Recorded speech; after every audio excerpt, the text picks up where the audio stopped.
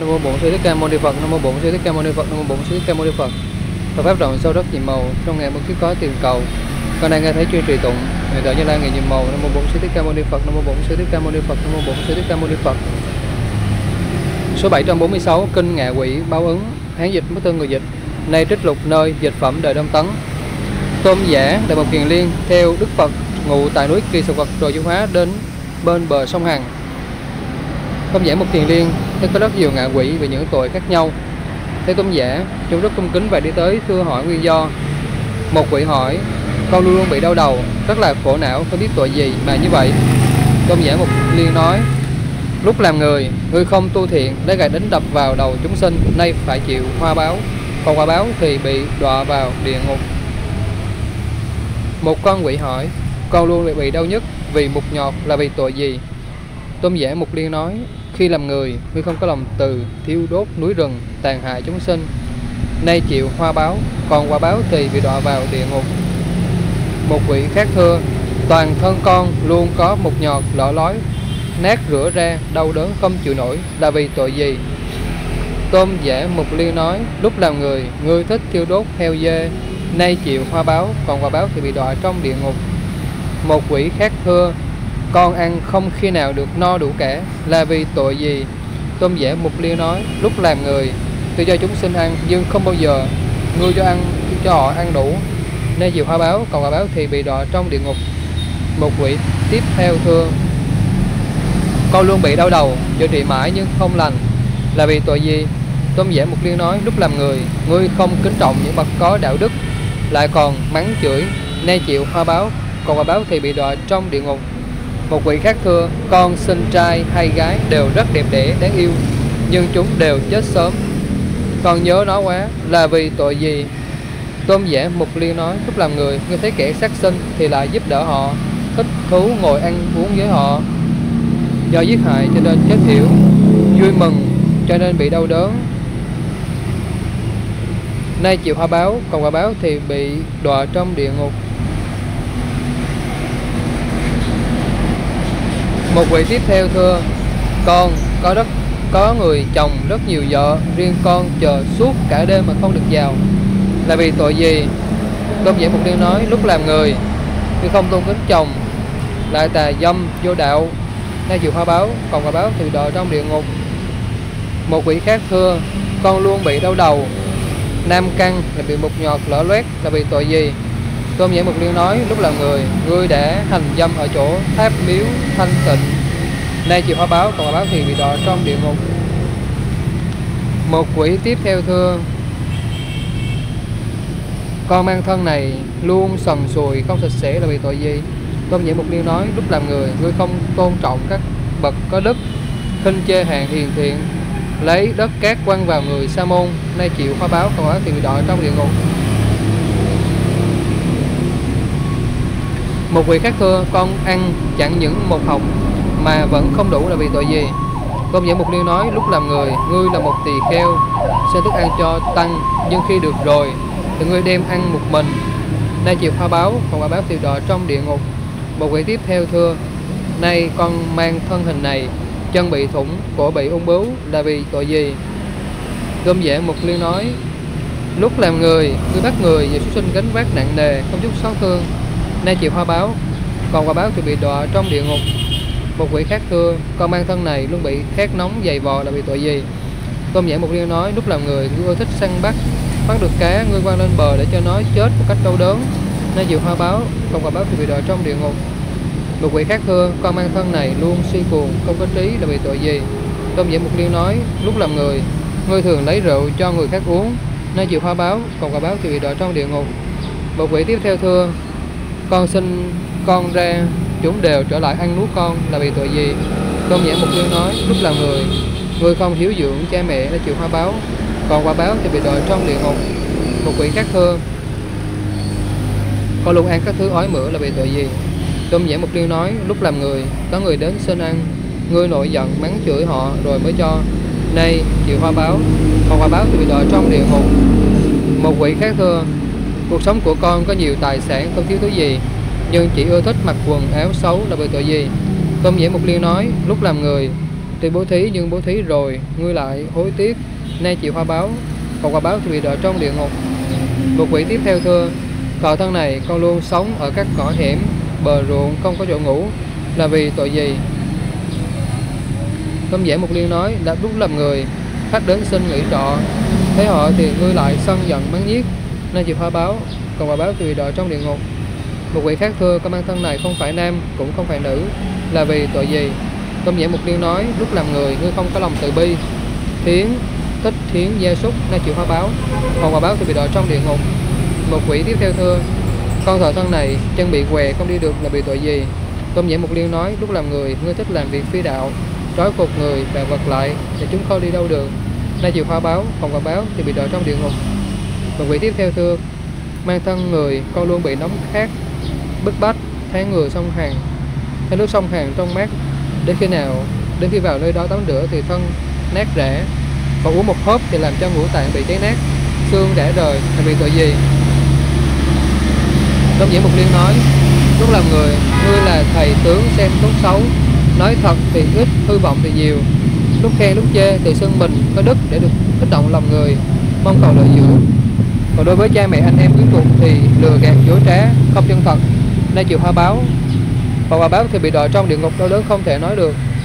Một vị khác thưa khi mang thân này cho đến nay cô luôn bị con chó hung ác to lớn răng nhọn bén hai mắt đỏ ngầu ngày đêm cứ đến cắn ăn thân con. Mạng chưa hết thì lại thì thịt lại liền sinh ra. Rồi chịu khổ như vậy tiếp đớn đau không thể nói hết là vì tội gì?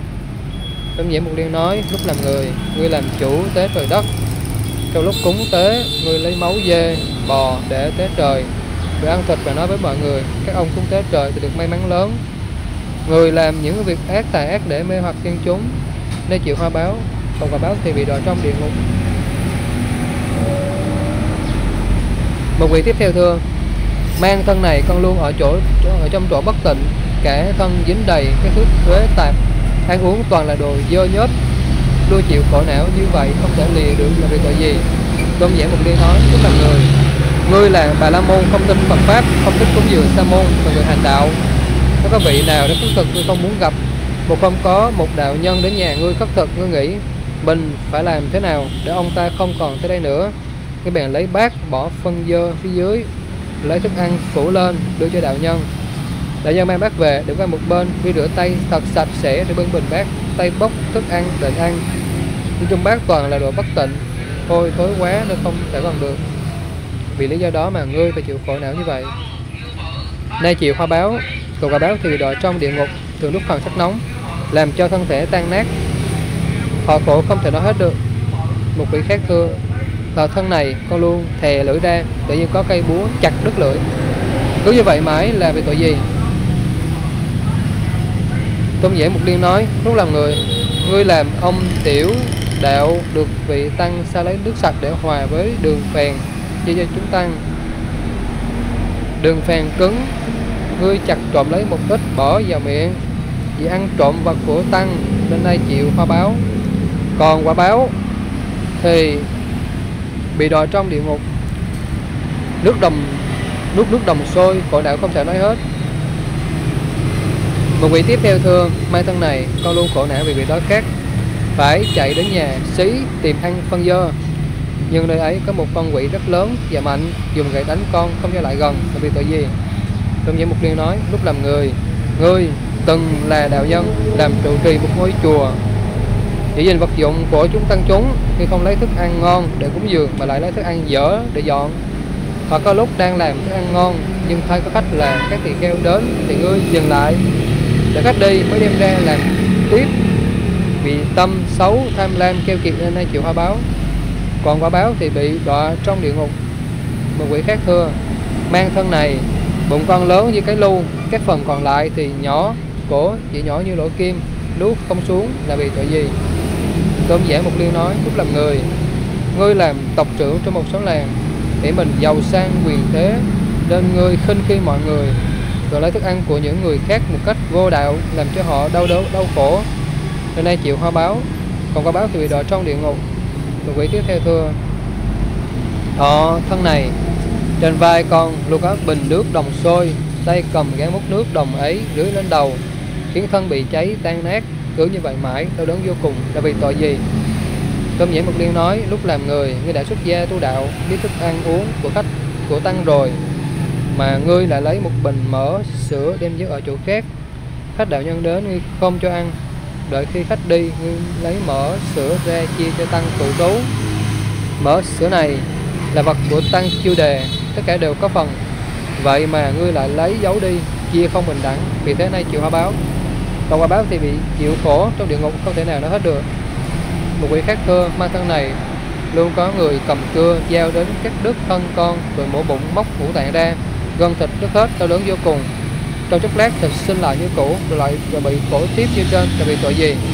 Tôi nhớ một liêu nói, lúc làm người, ngươi là bà la môn không tin chính pháp luôn sinh tà kiến phụng thờ thiên thần. Cứ dùng bò, dê để cúng tế, vì tội ấy nên hay chịu hoa báo. Không hoa báo thì bị đọa trong địa ngục.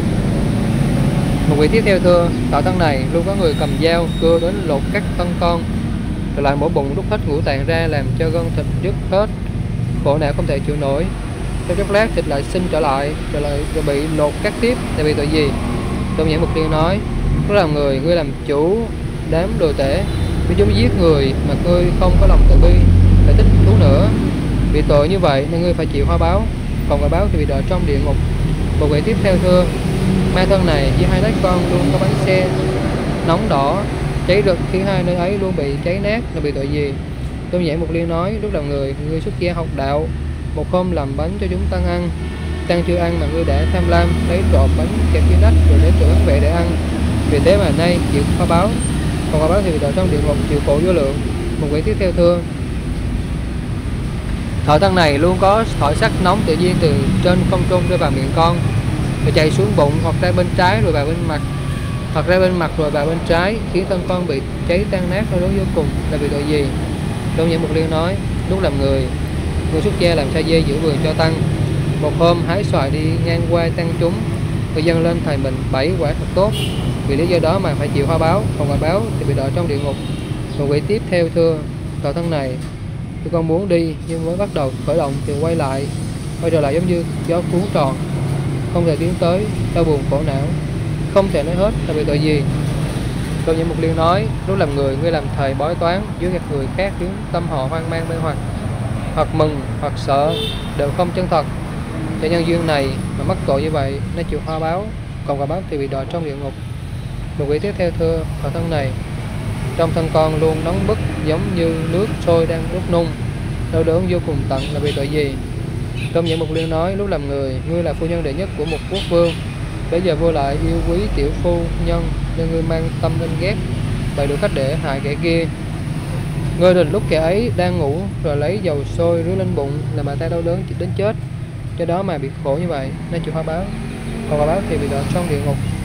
Một vị khác thưa, con thờ thân này, tánh tình nhiều lo sợ, luôn sợ người đến bắt trói bắt bớ, trói cột gông cùm đánh đập.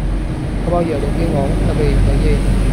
Trong những mục liên nói lúc làm người người thích thành tà dâm, xâm phạm vợ người rồi sợ bị phát giác lương tâm không an ngủ chịu hoa báo còn hoa báo sẽ bị đọa trong địa ngục, nằm trên giường sách nóng hoặc ôm trụ đồng lửa chịu khổ không thể nói hết. Một vị tiếp theo thưa, con tội thân này tự nhiên có đôi sắc nóng quấn chặt lấy thân thiêu đốt. Làm cho tan nát, đau đớn không thể nói hết, là vì tội gì? Đơn giản một liên nói, lúc làm người, ngươi chặt, ngươi đặt lưới bẫy để đánh, để bắt cá, bắt thú, lấy lòng nhốt chim, do đó bị khổ não khổ lâu như vậy. Nên chịu hoa báo còn là báo thì đợi trong địa ngục. Một vị các cương cái mai thân này không có tay chân giống như một khúc thịt sống nơi hoang dã bị các loài cáo, hổ, lan, chim, điêu thú cho nhau đến cắn xé. Đau đớn không thể chịu nổi là vì tội gì. Từ những mục liêu nói lúc làm người như bày ra những cái trò độc tự mình làm.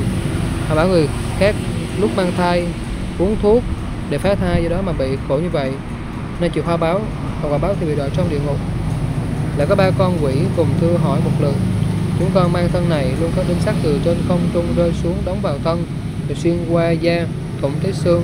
Đau đớn tới tủy là bị tội gì?